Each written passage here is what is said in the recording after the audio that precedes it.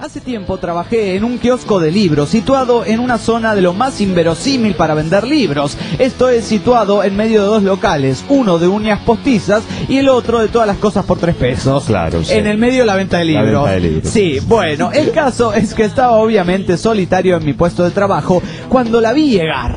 Una mujer vestida de payaso. Por lo general estamos acostumbrados a ver a los payasos con una mezcla de aversión infantil surgida de IT y mm, eh, con otro tanto de lástima, podríamos decir, ¿no? Y pensamos que ellos deciden verse así de grotescos por voluntad propia, aunque creo que este no era el caso. No creo que haya sido su intención verse así. Maquillaje rosa y rosa la peluca, con ropas amarillas en un contraste espantoso, mallas blanco y negro y unos zapatos tan penosamente normales.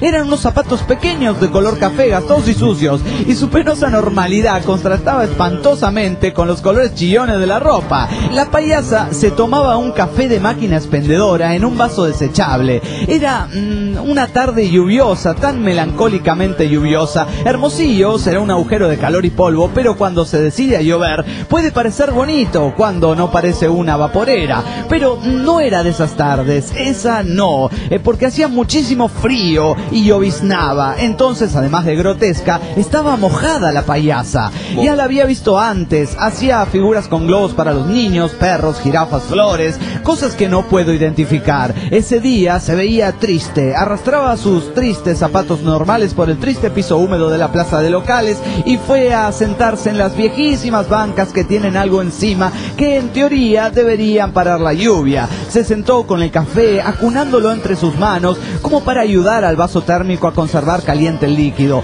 De un momento a otro hizo un perrito con un globo blanco. Así, Póngale ese así que como así.